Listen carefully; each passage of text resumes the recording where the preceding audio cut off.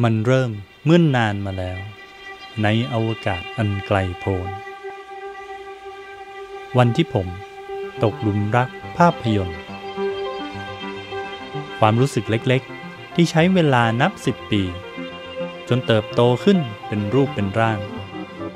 และเปลี่ยนผมจากผู้ชม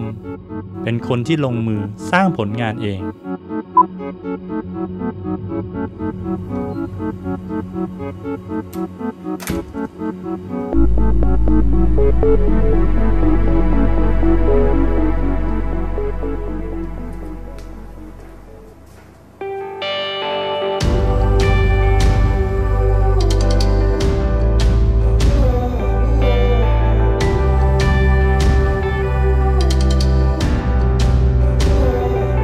ผลงานเล็กๆ ที่ลองผิดลองถูก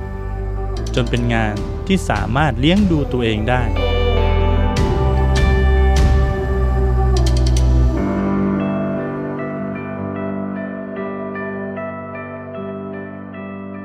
สิบกว่าปีที่ผ่านมา ชีวิตและการทำงานของผมล้อมรวมเป็นเรื่องเดียวกัน เรื่องที่ชีวิตได้เจอก็เพราะไปทำงาน และเพราะการทำงานจึงทำให้ชีวิต ดำเนินต่อไป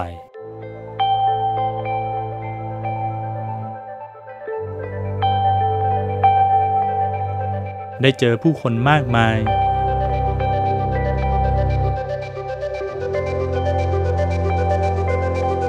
ได้ไปในหลาย ๆ ที่ที่ไม่เคยไป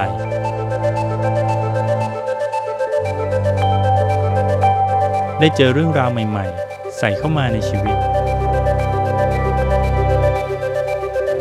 ได้เรียนรู้และเติบโตขึ้น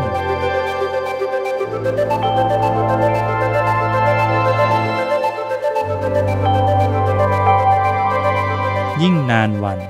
ผมยิ่งตกหลุมรักเรื่องราวเหล่านี้ เรื่องราวที่ไม่รู้ว่าเริ่มต้นที่ตรงไหน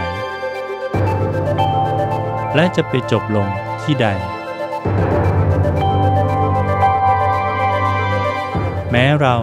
จะเป็นแค่ส่วนเล็กๆ ในช่วงเวลายาวนานที่แสนสั้นนี้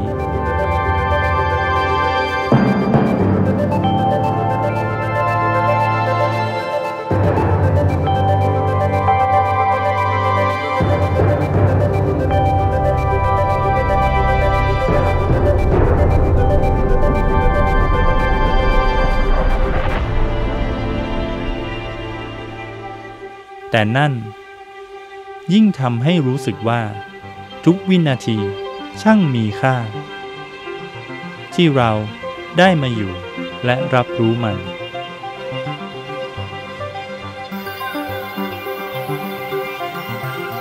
ณช่วงเวลาของชีวิต